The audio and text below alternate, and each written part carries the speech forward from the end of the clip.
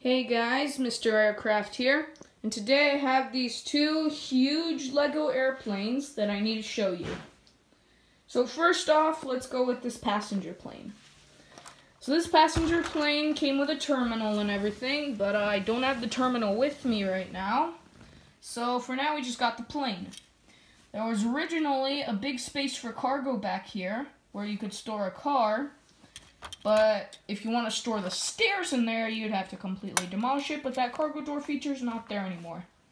I removed it because um, it wasn't that realistic. Like, it was cool, but it just wasn't realistic. And so I put the cargo door piece in here, except it did not have that number 4439 on it.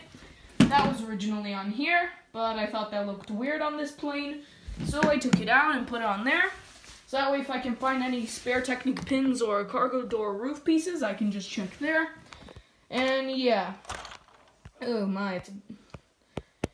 Alright, I need it to get brighter. So, sorry guys, something's wrong with my phone. Ugh. You can skip this part if you want. Oh. There we go, there we go, nice. Oh, too bright. Way too bright. And I think that's good. All right.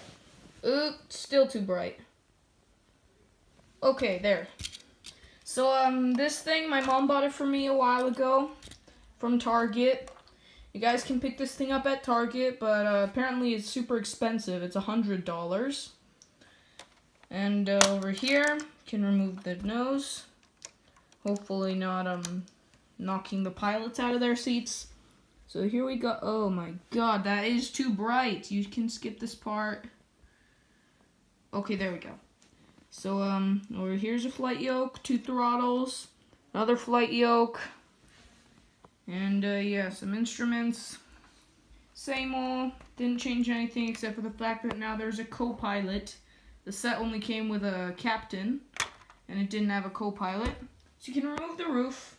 That's still the same as it was. Attached onto there by three studs. Just here, here, and here.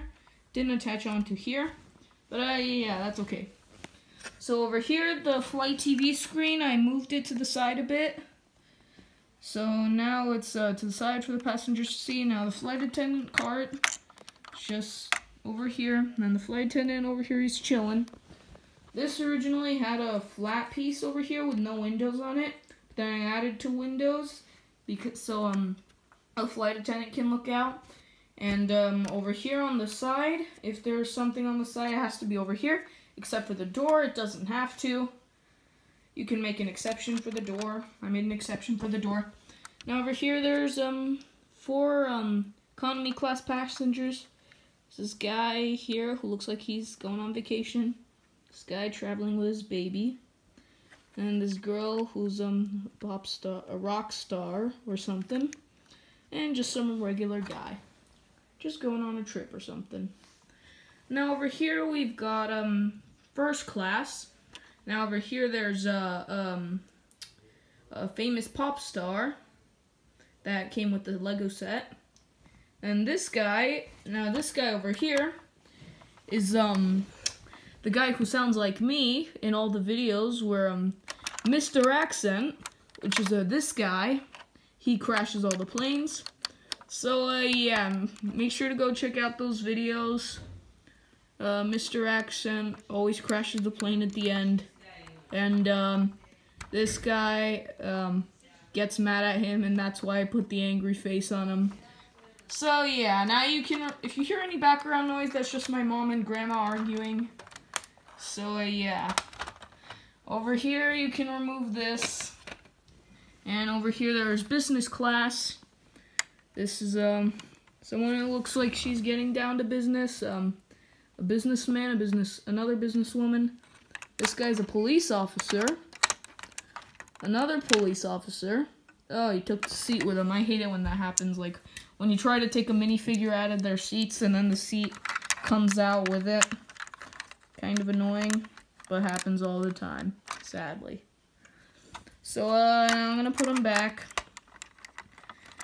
And yeah, this this, if you're wondering what this big hump is, it's from the wing piece. Like the wing piece goes from here all the way to here, but you get to add on the engines and these little winglets on the side. It's a really huge piece, but I'm guessing it's just so it's easier for the younger builders to um, get to know Lego. So uh, yeah, now over here, the restroom. Uh, the restroom is super small, and I barely had room to put the sink in here, so I didn't. The sink is out here instead, with the uh, hot water and cold water. I remember they did something like this in the past for a set 60104. The passenger terminal set. Yeah, that was really cool. And uh, now it's over here on this plane too. And um, I think I did a review on this thing a while ago. Make sure to go check it out. I think it should be on my YouTube channel. Link, I, yeah, it should be on my YouTube channel. So click on my profile picture and then scroll down through the videos and you may or may not see it. It says Lego, it's called Lego City Airplane 60262. So, yeah, if you're wondering, there's stairs here. I don't know what I'm doing with it, but uh, yeah. Alright. So I didn't modify those stairs. Um, they're still the same as they always have been. And the door too, I didn't modify that at all. But um, I did do some modifications on the bottom of the plane too. Because over here is stored luggage.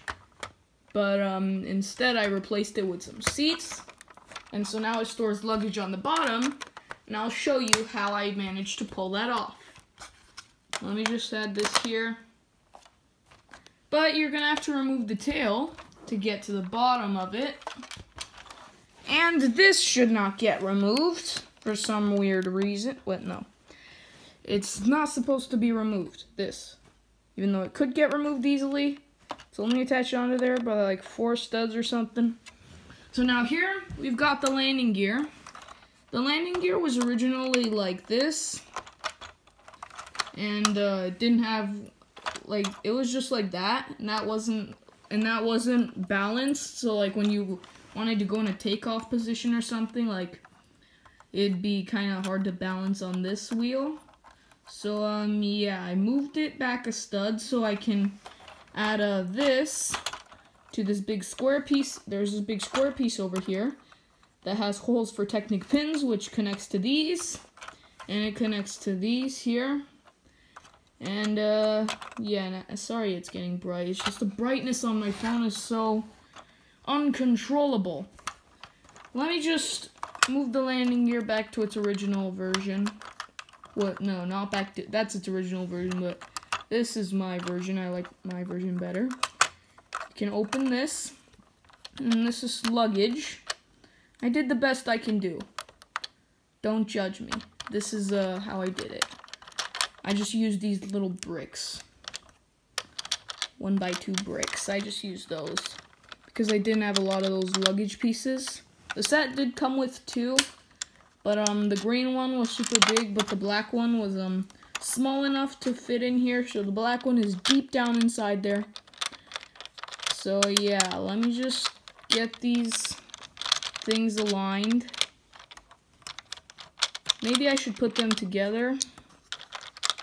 You guys can skip this part if you'd like. Or not. Right now I'm just trying to get it back on there.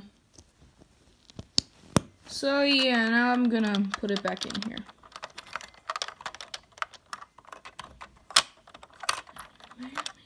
Alright. I'm gonna put this here, this here. And uh, there. That's my, that's the modifications to the 60262 plane.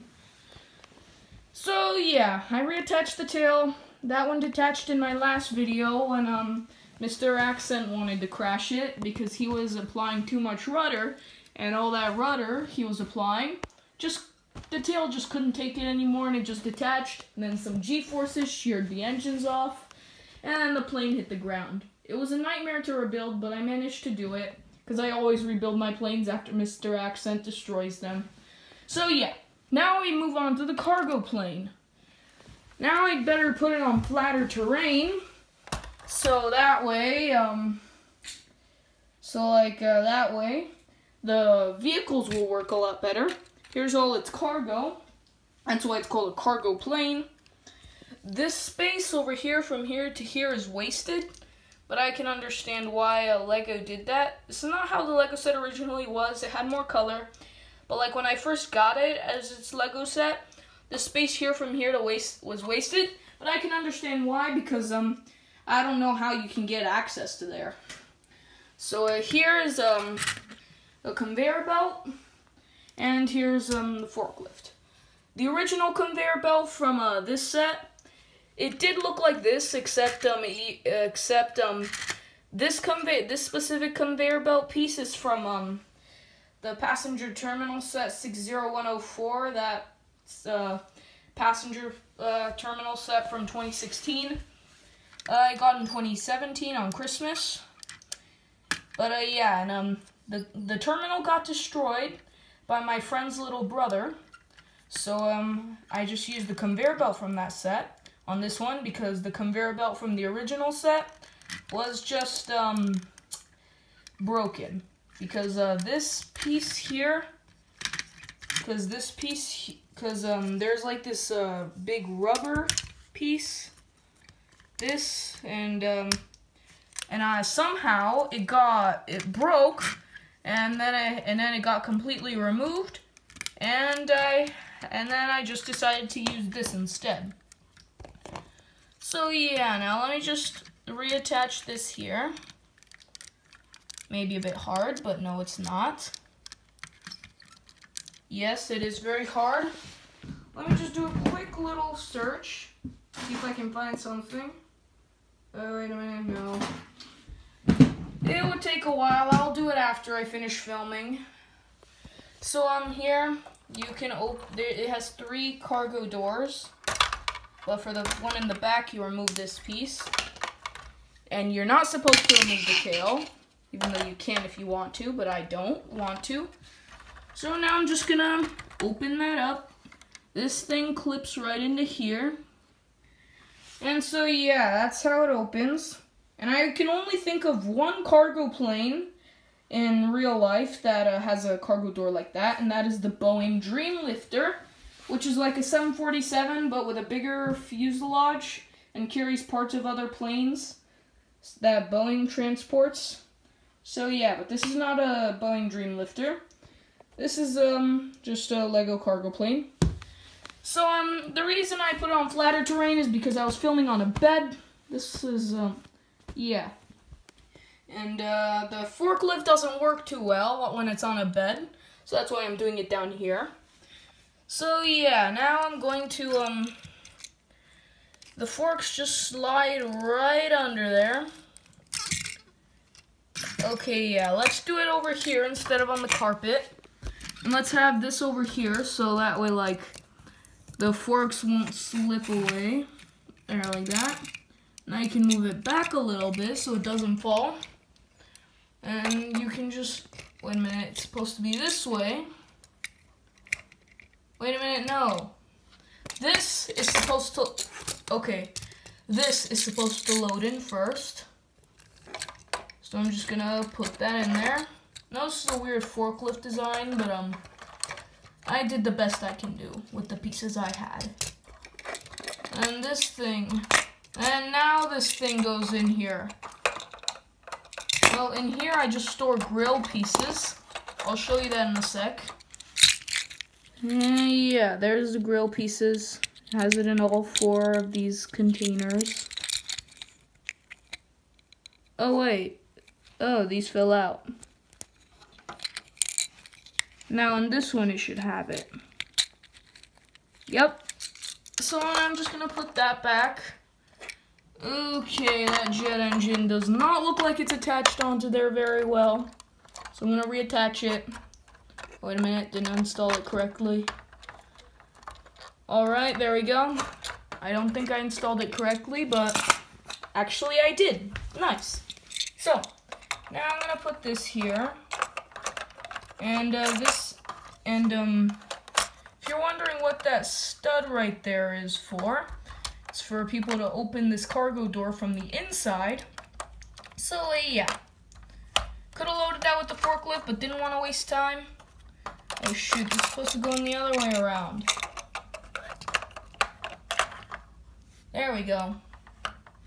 So yeah, and I think this is supposed to just go to the side like that.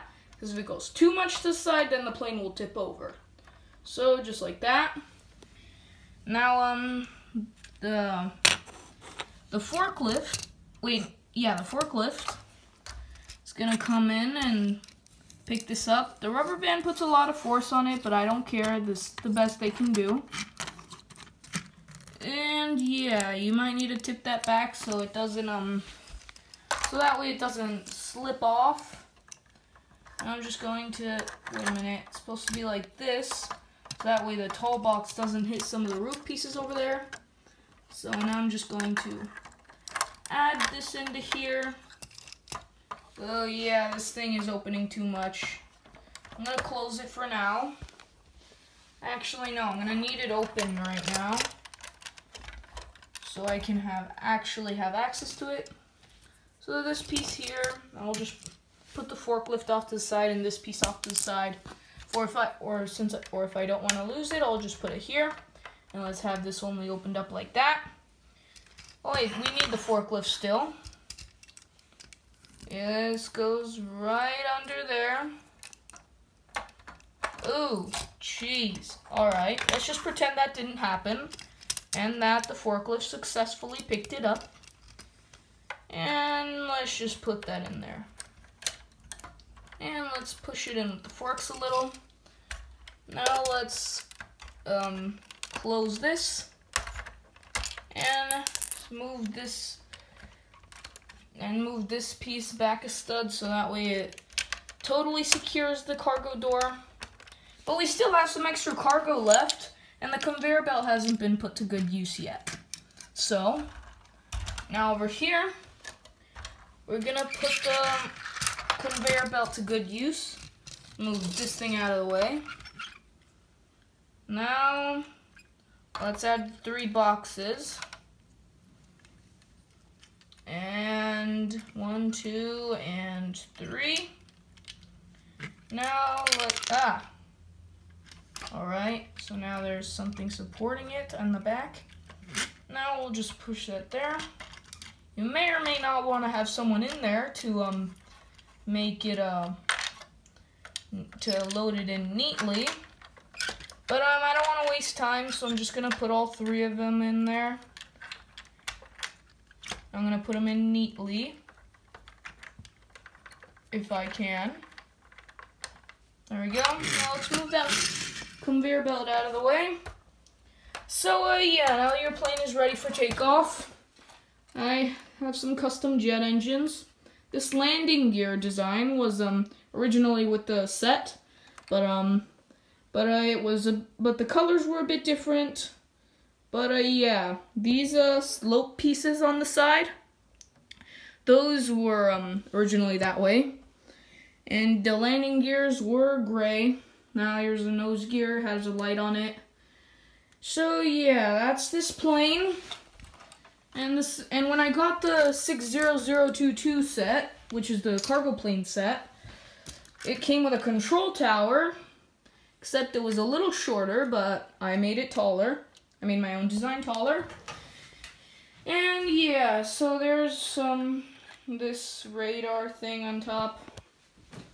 And yeah, so these are my two planes.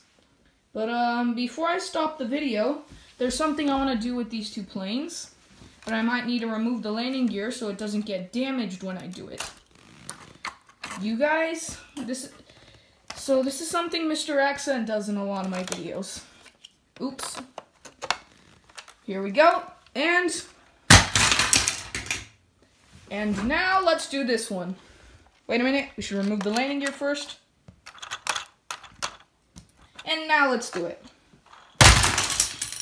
Alright guys, thank you for watching. I hope you enjoyed the video. And I'll see you in my next video. Bye.